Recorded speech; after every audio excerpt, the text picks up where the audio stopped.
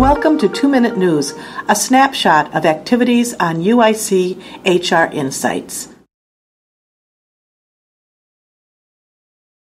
A recent article, Think About Diversity of Thought, from Diversity Executive, discusses how diversity of thought stimulates innovation, creativity, creates learning opportunities, and how to actively demonstrate respect.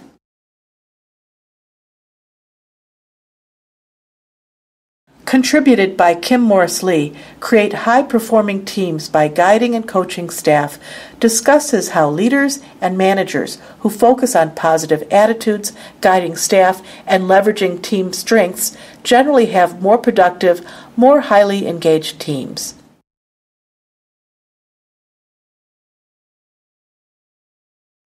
In our Get to Know series, you can learn about our new employee on the business services team, Rebecca Fortier.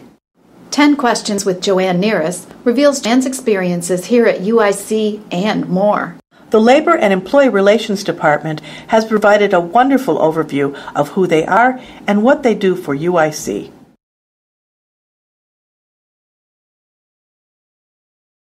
If you are interested in development opportunities, check out the OE Training Events Calendar and as always, thank you for stopping by. If you have questions or to submit content, send a message to oe at uillinois.edu.